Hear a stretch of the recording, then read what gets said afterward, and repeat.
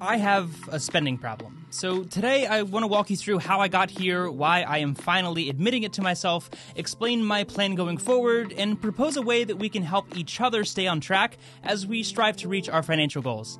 All right, let's jump right into it. What is going on, everyone? I hope you are all having a fantastic day. So, before we get into this somewhat difficult video for me to make, I want to lay some groundwork on a few things.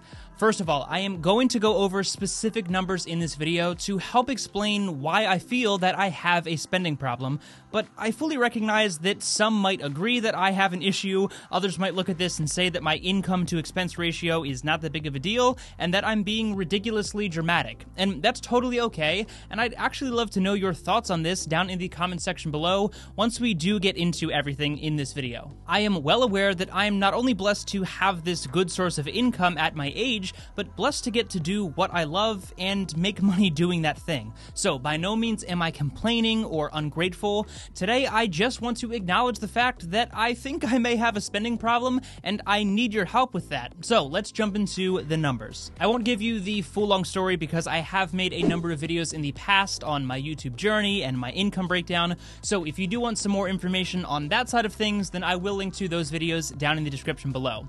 But to summarize the whole purpose behind today's video, I really think that I have stepped big time in the trap of what's called lifestyle inflation. I've talked about lifestyle inflation in previous videos and actually why you really want to avoid it, and I stand by that belief, but by the looks of things, I haven't actually been able to replicate that belief in my own life. So, less than two years ago, I was in the broke college kid phase of my life, and I had some money saved up and was already investing and all of that good stuff, but I was broke in the sense that I didn't really have any substantial form of consistent income, and as a result, I basically spent no money. Flash forward just two years, and now thanks to all of you and this YouTube channel, my income is higher now than I ever thought it would be in my entire life. But my expenses have now gone through the roof as well. So, first let's look at my business expenses for this YouTube channel, and then I'll take you inside my personal expenses because that's where the real problem lies, in my opinion. Okay, so what you were looking at right now is just my business spending over the past 12 months. And you can see that over the past 12 months, I have spent right around $35,000 on this YouTube channel. Again, if you want a full context of my income, then definitely check out my most recent income breakdown video. But a lot of people would probably say that spending $35,000 in order to earn multiple six figures is really a healthy expense to income ratio, especially for a small business, which is how I treat this YouTube channel. And I would totally agree with that. But again, the real spending issue that I see in myself is on the personal side of things. Now, we will get to that in a second, but the thing that concerns me when scrolling through my expenses here is that it's almost entirely on what's called materials and supplies in the accounting world, also known as video equipment in my case. But it seems that it started to get a little bit out of hand and really to the point where I'm justifying equipment for that reason that I just described, when in reality it's not leading to an increase in income, and in some cases is not even substantially increasing the quality of my videos. That being said, I still do everything for this YouTube channel completely on my own, and despite my best efforts to hire designers and video editors, it just hasn't worked out for one reason or another, probably because I'm really particular. But as a result of that, I really should be able to run this YouTube channel with little to no expenses. So the fact that I spent $35,000 just on equipment and a few essential expenses is definitely concerning. But now let's jump into my personal expenses within SoFi Relay to show you where the real issue is. I don't want to try and justify my issue by making excuses throughout this entire video, so I'm going to give you all a little bit of context once before I show you my personal spending numbers, just so that I'm not continually making excuses for different expenses as we are going through those numbers. So, in the time period that I am about to show you, I bought a car, bought an engagement ring, helped pay off my fiance's student loan debt, paid for my upcoming wedding, paid for my entire extended honeymoon following my wedding, and obviously have been setting money aside for the many expenses that come with starting your life as an adult. Long story short, I have had a number of large expenses over the past year or so, but my issue goes well beyond those expenses, so let me show you what I'm talking about. I cannot believe that I am openly showing this to the world, but what you're currently looking at is my 2021 personal spending breakdown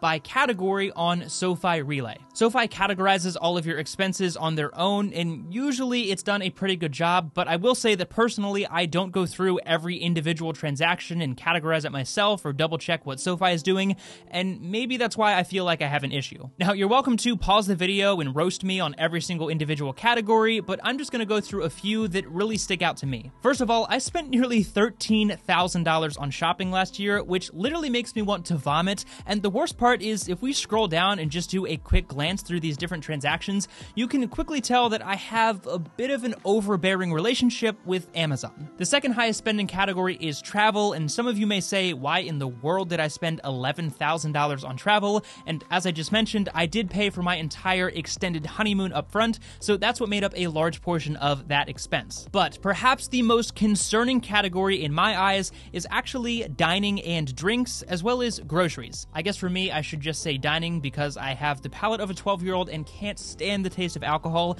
But what's more horrifying about that number of $4,500 is that I still live at home. The reason I say that is if you live on your own or you have a family, then 4500 bucks for the entire year on food is really nothing for most families. I do want to point out here that groceries are a separate category, and you can see that I spent $2,500 on groceries in addition to the 4,500 on dining and drinks. But the reason these numbers are so concerning to me is I still live at home, at least for the next few months until I get married, and the reason I say that is because my parents have been a true blessing and still pay for a good amount of my meals, which is pretty sweet, yet somehow I still spent over $7,000 on food. Like, I knew that I spent a lot of money on food, but that is a jarring number that needs to be corrected immediately. So again, you are welcome to pause the video and look through all of these numbers and roast me down in the comment section to let me know whether or not you think I have a spending problem. But the real issue is when we switch to 2022 spending, because right now we're not even two months into this year, and this trend is not headed in the right direction. So in 2021, I spent roughly $42,000 throughout the whole year, which breaks down to about $3,500 a month, which again doesn't sound that bad. And also remember that that is in addition to the $36,000 roughly that I spent on business expenses in 2021, meaning my total spending was nearly $80,000. That is in a year where I earned over $200,000, but that still doesn't feel right to me. So again, let me know what you think of this ratio down in the comment section.